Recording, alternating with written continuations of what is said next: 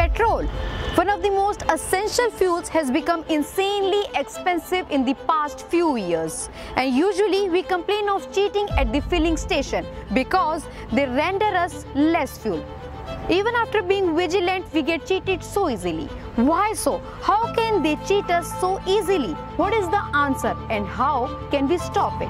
The answer is with petroleum engineering first year students who have developed an amazing chip to find any discrepancy on the spot. Let's hear from the innovators.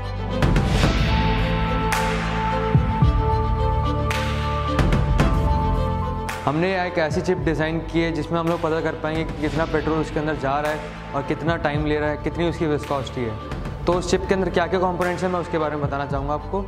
तो starting में हमने जैसे एक petrol pump pipe ले रखा है, उसके starting में एक तो सेंसर है, एक एंड में सेंसर है। तो ये इसका क्या होगा, काम जैसे यहाँ से फ्लो करता है पेट्रोल तो यहाँ पे अपना आप डिस्प्ले वो करा देगा कि आपका पेट्रोल यहाँ से स्टार्ट हो चुका है। बीच में हमने बजर लगा रखा कि अगर मान लो आपका फ्लोर बीच में रुक जाता है या कुछ ऐसे कुछ होता है डिस्ट्रैक्शन होता है उसका तो वो आवाज़ कर देगा मतलब बजर उसकी बच जाएगा। और जब हमारा लास्ट वाला ये हमारा क्या करता है कि इसके हमने एलडीआर साथ में लगा रखा है। एल क्या होता है? इसकी स्टॉप कर देगा सेंसर को।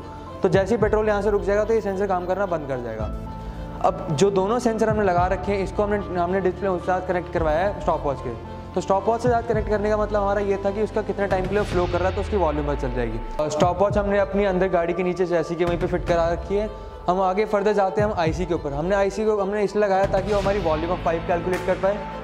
उसका टाइम कैलकुलेशन डिस्प्ले कर पाए और जो हमारा एक्यूरेट अमाउंट जा रहा है पेट्रोल का, वो हमारे बता सके। ने जब सर्वे किया तो हमें पता चला कि लोग कह रहे हैं कि जैसे पहले हम अपने चिप में सिर्फ़ टाइम लैप ही ऐड कर रहे थे, सिर्फ़ टाइमिंग पता चल रही थी। तो लोगों ने हमें कहा कि आप कुछ ऐसा भी करो, जब वो उधर से स्टॉप करते हैं तो कुछ हमें पता चल जाए कि अब रुक गया क्योंकि हम ऑन द स्पॉट उसी को, जो पेट्रोल सर्विस मैन होता है, उसको कह दें कि अब आप डिस्पेंस नहीं कर रहे हो, उसी टाइम कर रहे हो। तो तभी से मार्केट में सर्वे कर करके हमें पता चला कि एज अ बजर फिट करते हैं हम।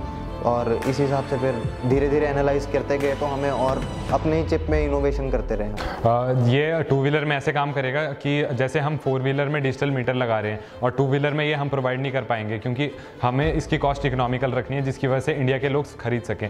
और सेंसर स्टॉप वॉच ये सब हम फोर व्हीलर में लगा रहे हैं टू व्हीलर में ये अवेलेबल नहीं हो, हो पाएगा। क्योंकि उसमें स्पेस भी नहीं होता है फोर व्हीलर में हम स्पे, स्पेस की वजह से डिजिटल मीटर स्टॉप वॉच सब कुछ अवेलेबल कर, कर पाएँगे।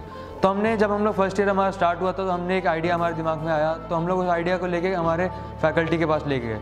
फैकल्टी ने हमें काफ़ी गाइड दिया कि ऐसे आपको बनाना है, आगे फर्दर इसकी डेवलपमेंट कैसे करनी है।